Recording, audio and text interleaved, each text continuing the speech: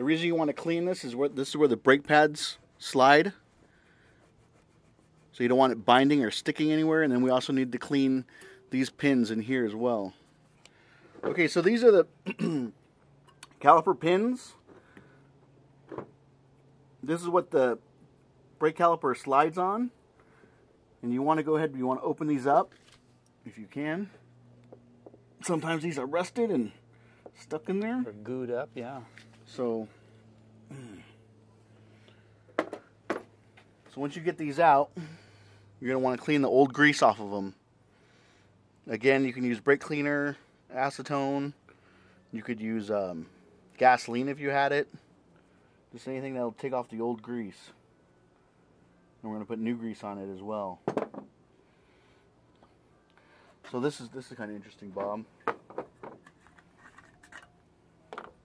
Oh, it's got a little clip on it. No, it's a piece of rubber that swells up. Oh. Right down here, you have a little piece of rubber. And what I've seen happen over time, over the years, this rubber actually will swell up.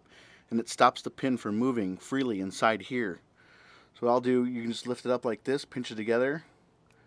And I just end up taking it off. I leave it off. I don't even put them back on anymore. Cause I, I've seen too many times where they'll swell up and just stop, stop the caliper from moving. And then you get uneven brake pad wear and uneven rotor wear.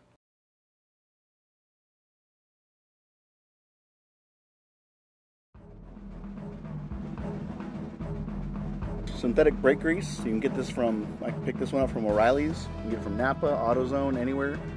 Small little packet. No bigger than my hand. You're not doing this all the time. So anyway, what you do, you just go ahead and squeeze some out. I cut the corner. Just apply it to the pin. Take your hand. Get it nice and lubed up.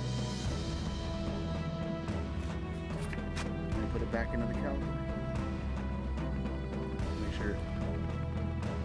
Nice and freely. And you want to put the boot over it again. And if you're pushing and it, and it wants to push back out, all you gotta do is make a little hole in the vacuum, push it in let go, and it'll stay in place.